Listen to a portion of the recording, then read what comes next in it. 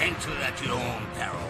Past the vaulted door where impossible things may happen that the world's never seen before. In Dexter's laboratory lives the smartest boy you've ever seen. But he blows his experiments to smithereens. There is gloom and doom while things go boom in Dexter's laboratory.